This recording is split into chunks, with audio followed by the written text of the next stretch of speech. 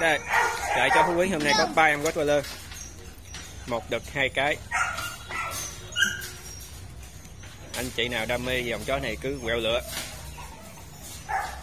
Số điện thoại là 0964 733 539 thích em nào thì cứ chỉ điểm em đó.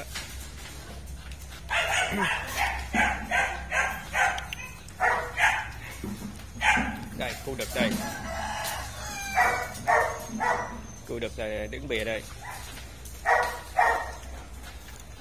Em cái cục đuôi một em cái đuôi dài nằm bên kia.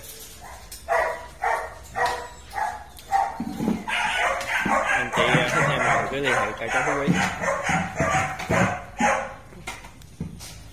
đó, mặt mày ngầu lanh lẹ cao to.